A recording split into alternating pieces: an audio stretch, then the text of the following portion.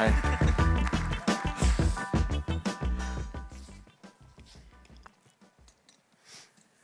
a seat. Hello, hello. Kia ora, everybody. My name is Colette. I run the startups team for AWS, which means I have the enormous privilege to work with thousands of startups across Aotearoa and Australia. And Craig, can I just say, you blow me away. Honestly, what you've done with Halter is so impressive, and I think you have a lot of fans in the audience, right? Nice. So, one of the things that stood out for me just uh, listening to you talk was really that trifecta of purpose and, and people, and then nailing the right product. So, we're going to dig into that a little bit today. Um, I heard someone say once that once uh, farmers use Halter, they don't ever go back. Um, can you tell me a little bit about one of your proudest customer stories um, that just really made you so happy to, to see? Yeah, good, good question. Um, yeah, it's definitely a, a sticky product. Um, and there are even some cases where uh, you know farms have fences today, and our goal isn't to uh, remove fences; it's to be more precise and flexible than that. But we have plenty of situations where farmers are so confident in the technology that they uh, are pulling fences out, and so you're sitting there being like, "Okay, yeah, this is like this is commitment," um, which is good. Obviously, when you have uh, an impact, then um, they're fully on board. So, um, but the proudest moment, oh, there's, there's so many. Um, these, like the first time, uh, our, my parents' farm is our, is our research farm, our test farm. And I remember the first time we were out, it was like my dad's birthday, and we are out at dinner in Hamilton or something, and it was raining, and, um, and he pulled out his phone, and just very casually, like we were just talking, and it was just on the table, and he like shifted the herd of cows out of this wet paddock into this dry one up the hill. I was sort of there like, holy shit, that's like, before Halter, that would have been quickly finish your meal, shit, we've got to get home, we've got to, um, we've got to shift the stock. And that was like this first um, very tangible um, impact, I guess. So beautiful. Um, now, I guess it would be easy for all of us to sit here and just look at the tip of the iceberg and go, oh yeah, startups are just you know joys and successes all the way along. But tell me, tell me a little bit about what's been some of the most challenging days for you it's like where you really had to push yourself to get up and go move that ball forward.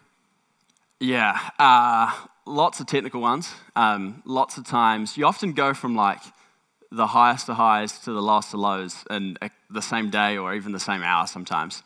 Um, it's, it's wild. It's like, um, and you, you, learn to, you learn to love that. That's actually uh, one of the most exciting parts in the end. Um, probably the toughest ones are like team related. Um, uh, around like growing people or um, you know you're, you're often pushing people to achieve more than they even think is possible and that, and that can be really challenging. And um, so yeah probably team related um, would be some other examples. There are plenty of, of long days and, and sleepless nights and things like that but um, you're really selling yeah. it here. Yeah sorry. It's like i wouldn't trade it for the world. I yeah it was definitely um, like I said at the start, I, I didn't grow up thinking, oh, I want to start a startup. It was purely, um, it happened out of wanting to solve a problem, which is very classic for engineers. They love solving problems. Um, and I'm so glad that it happened. Like, I, I was actually saying to Sam recently, like, the purity of a startup and just this constant need to solve problems and to advance and to be better makes, I think, the people within it better people. It definitely makes me a better person. Like, um, yeah, personally. So nice. Um, so the quote you had up earlier around the team you build is the company you build, not the plan that you make. Um, let's double click a little bit on team because I love that. So rattle off a couple of words to us, you know, describing your team. um, we there's a post-it note behind my desk on the wall that says outthink, outwork, outcare, um, which is a great like way to think about team or culture. Um, other people have described uh, our team as like hardcore and empathetic. Um, uh, we talk a lot about high performance. We talk a lot about sports teams. Um, yeah, I think there's a lot to learn from from sports teams around. Um, yeah. Is that reflective of you? Uh, as an athlete, yeah, no, um, uh, not at all. Um, yeah, I think like in a way, you, you have the culture you build has to be true to you um, it's got to be true to everybody, and really, otherwise, like, it's I don't know, it wouldn't work. Startups are hard enough. You don't want to see yeah, you don't need. Yeah. Um, so, what, what sort of behaviors do you go out of your way to cultivate in your team? Um, this is very. Uh, I ca- I- I'll answer this, but this is very, um, I guess, personal or uh, specific to it to a culture. So, um, and so every business is different, but we we really value uh, persistence and grit. Um, we obviously value attitude. Um, we hire a lot of young, hungry um, people, and and if they have experience, great. But if we have to teach them that, then that, that's okay. Um, we value hard work for sure. Um, but we also, you know, it's not the only measure. Um, we value people that can think, think smartly. And then care. Care is a huge part, huge part of it. If you care about your work, your workmanship, your teammates, um, that's the difference between uh, a, lot of, a lot of good things and a lot of great things is how much someone cares. Um, so, yeah, hard to measure that one, but it is, it's important. Nice. Um, so at Amazon, we've got this, you know, mentality around day one. You know, every day is day one again, and part of what you talked about earlier reminded me of that. Um, and it's this notion that, you know, every day you you you start afresh. Every day is a day to innovate. Every day is a day to grow. Um, so one of the things that dawned for me when I when I joined AWS specifically was that you know when you're in a company that's growing like 30 to 40 percent a year, you have to outgrow that as a leader, and you have to constantly be growing more than that to help everybody else grow at that 30 to 40 percent per year. So and, and you know for me that was terrifying. and I imagine then you know looking at the growth of Halter. That must be super terrifying for you. So, how do you um, do you take time to then reflect, and how do you think about your own self development as a leader?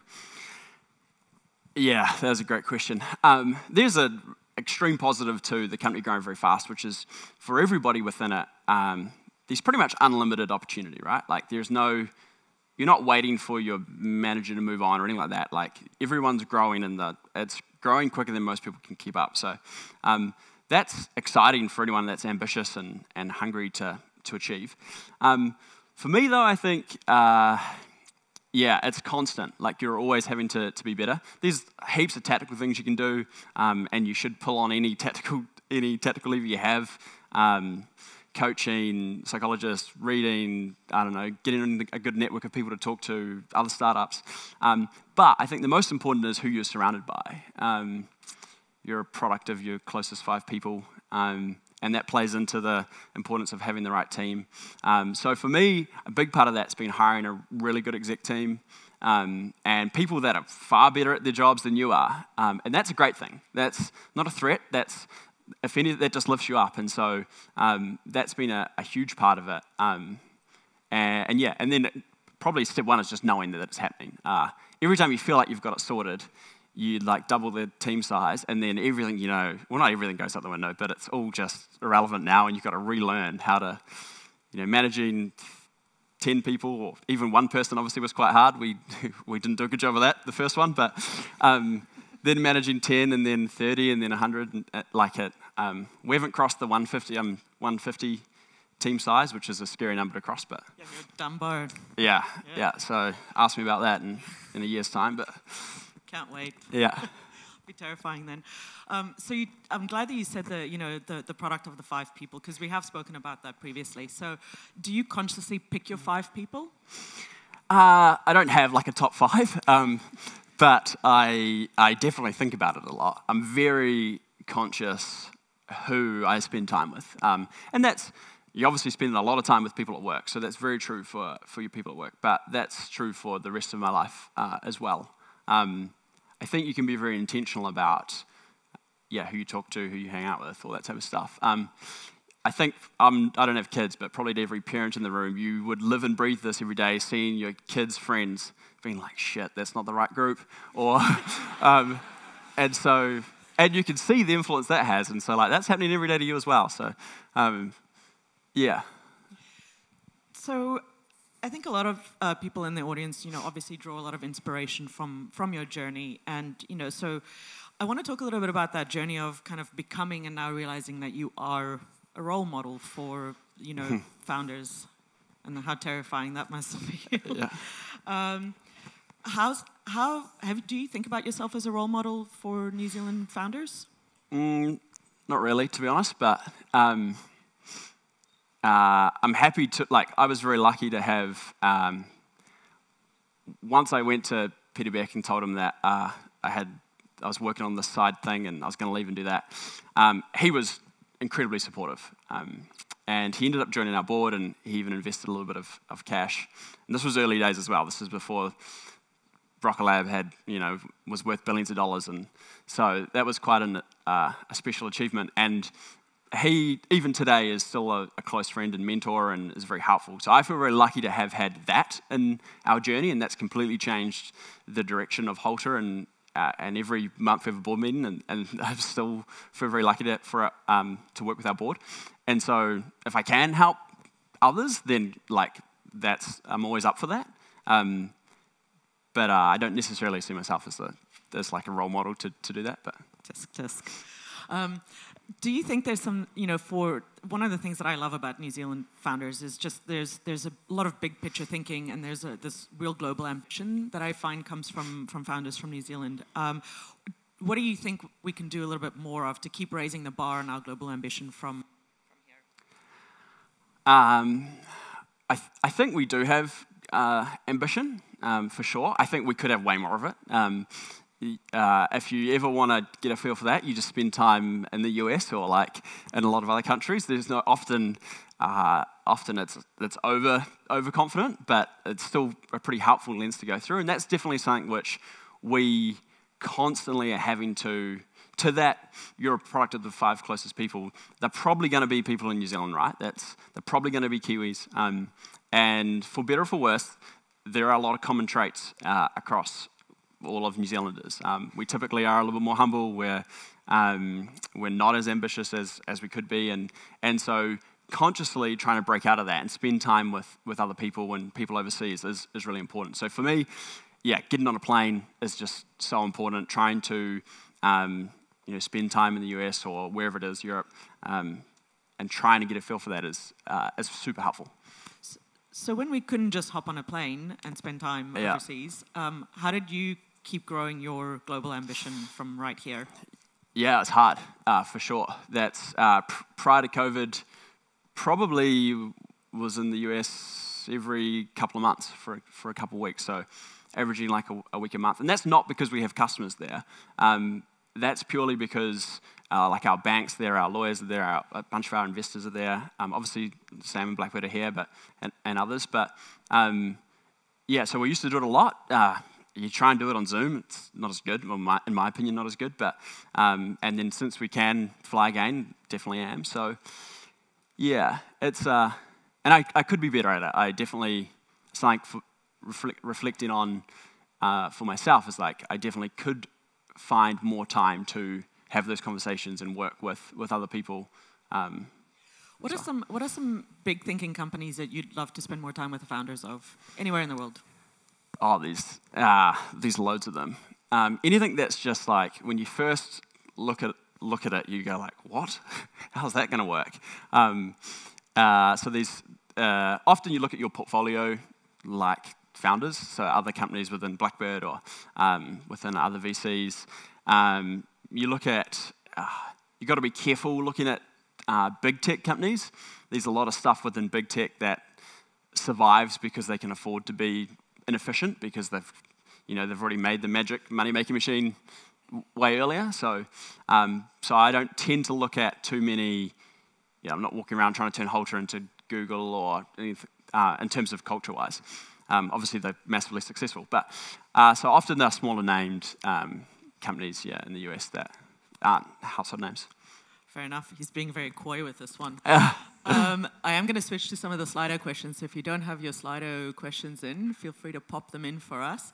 I do want to ask you, though, Craig. Um, what are some of the problems? Like Halter is, you can tell, you know, your passion and the real purpose and the impact that you can see this company making in the world. Um, what are some other big problems that you'd love to see founders here actually start focusing on more? Damn, that's a good question. I have a very special place for um, technology that's in the real world.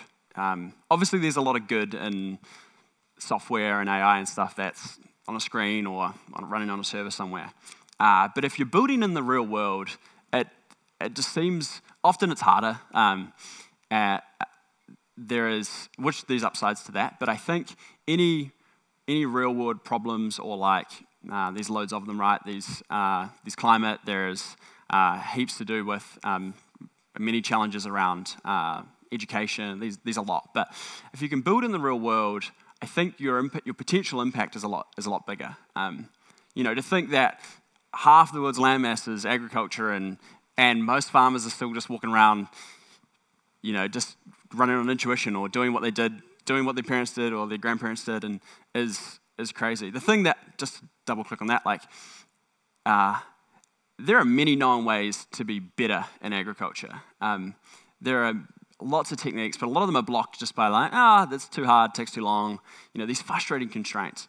Um, and so that blows my mind. It's like, you know, sure, it's hard to get tech in there because uh, it's in the middle of nowhere and you've got to build hardware and you've got to talk to all that stuff. But if you can do that, you know, you have a pretty big opportunity to have impact. So. So solving real, real problems yeah. for real people. Yeah. I love that. Um, I might switch to a couple of questions here um, and jump around. And I wanted to ask, uh, sorry, Will. Will wanted to ask, um, how do you elevate ambitions and set realistic targets at the same time? So I think that might be team performance related. Ah, uh, yeah, that's a good question. Um, I would say we uh, we lean on the side of ambition rather than realistic targets. Um, so one of our a critic would would say that a lot of our targets aren't realistic or hard to achieve, but also you don't really know what's possible until you start you know start moving on something. So um, we lean on the side of ambition. Um, some people, you know, you could call them stretch goals, whatever you want. Uh, it's important to remind people that even if you don't necessarily achieve that crazy ambitious target, if you get pretty close to it, then that's still, I mean, there's still a lot to be proud of there. Um, so, no, we, we bias to ambition. Uh, we think it lifts performance. Awesome. Um, is Halter profitable? If so, can you talk about your journey from burn to profit? If not, can you talk about your always be raising journey? Yeah, good, good question.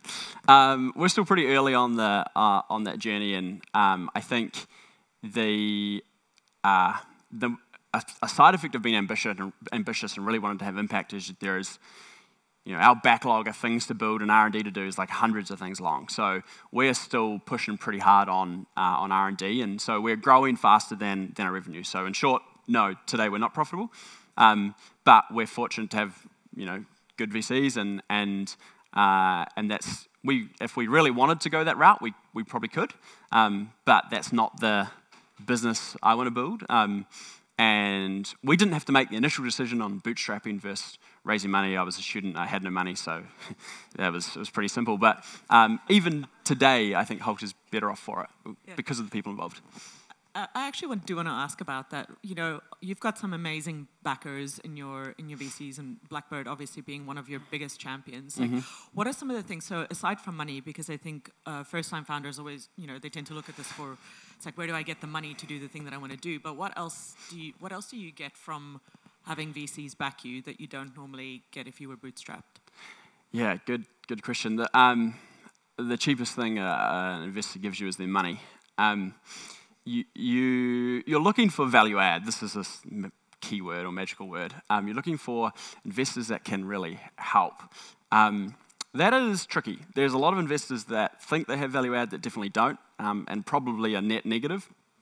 So you've got to do your do your homework. Um, talk to other founders. Um, you know, do reference calls. Look at history. Do all that stuff um, because it's so important. When I first started, I remember we had this list of investors and and you're pretty much like, oh, sweet, there's, you know, there's dollar signs and there's big numbers, and you add it all up, and the bigger the better. Um, and it was Pete Beck that was like, absolutely not. he was just crossing off names. Um, and he's like, this is a marriage. This is more stressful than a marriage. This is at least 10 years. And like, you know, he's like, you gotta be, you gotta be careful who you, who you, who you let in the door. And so, um, I'm very thankful to that because um, that roller coaster is, if you've got people on board that are going to freak out every time something's not going well, it's not very helpful. Um, and so you need people that get it. And so, yeah, we, yeah. Yeah, that shared vision. Um, another question here that I think some people might want to know is can you explain very simply how the tech works on the cow and how it trains them?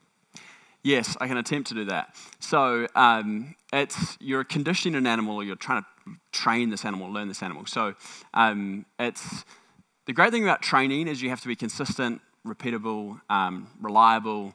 Um, if you've ever thought about training a dog, for instance, um, or, or, anything really, um, and software is really good at that. Software is 24/7. It you know never makes a mistake. Well, if you write it right, and so it's it's it's very good. And so that is the, the key insight. Anyone on a farm knows you can train cows. You cows try, to learn your voices. They ha, like they learn habits. Um, on daylight saving, when the, when the clock moves an hour, you, you go, if you go down there an hour late, they're all standing at the gate. They're all like, what the hell? and so you've got to do it in 15 minute gaps. And so you know that these animals are trainable, and we use software to do that. And so our, we use cues, our primary cues are sound and vibration, um, and they're the ways that we interact. Um, we, the system runs when it's, when it's up and running. And so, um, and that's, uh, you can get right, for every cow, it's different. Um, every profile personality, a heifer to like a 10 year old, um, that has to be different and has to learn that animal.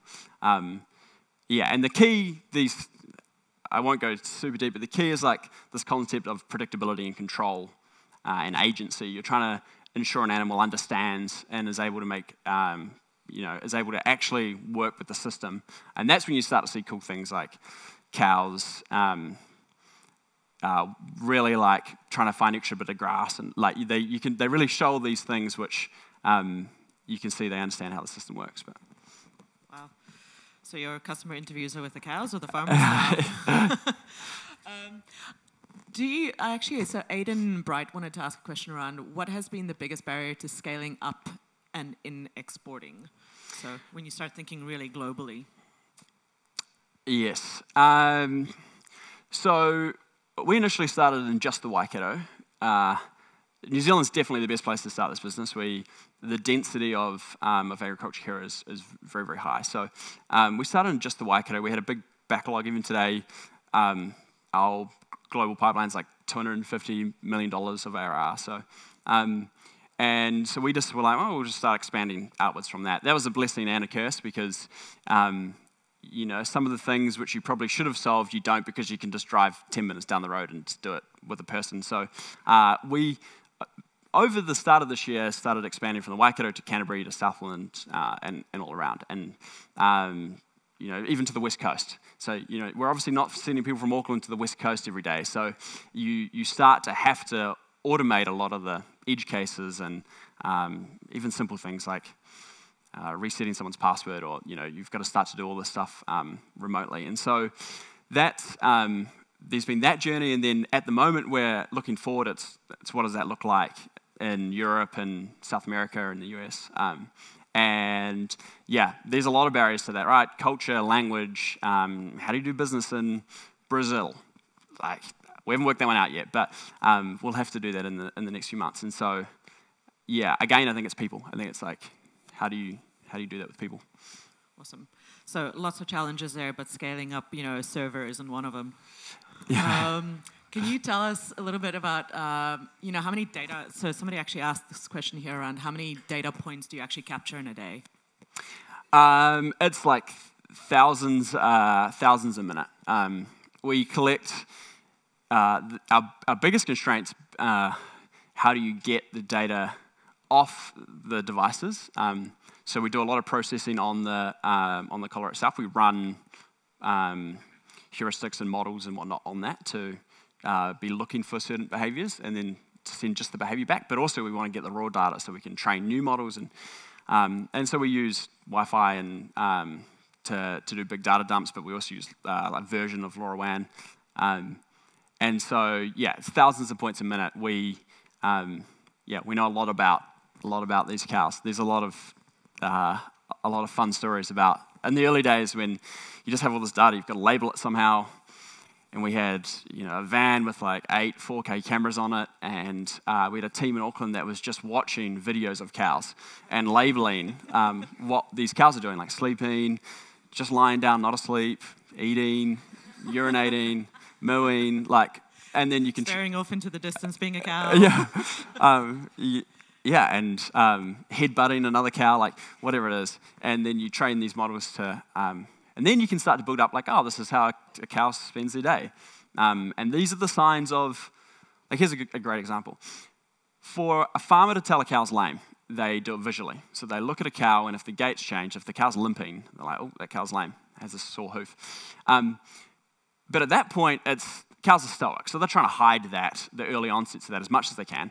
Um, and so when they're limping, it's so bad they can't hide it anymore. And so the onset of, of lameness can be like eight weeks prior to you um, visually being able to identify it. So, but uh, before that, other things start to happen. So voluntarily, a cow will walk normal, but if they get to choose, they don't, uh, they're not walking around as much as they could be. So you put them in a paddock and they eat really quickly and sit down because uh, their hoofs are sore.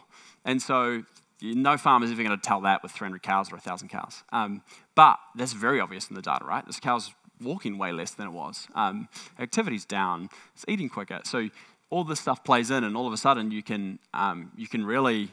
We've got loads of like we've saved these cows' lives and all that stuff. Um, so it's been really awesome to see it. If you know, all happen sort of on the, the background and the back end of what you're doing as yeah. well. But um, so there you have it. If we ever want, you know, farms and cow farms in the metaverse, Craig's going to have the most accurate cow farm for us to, uh, to work on.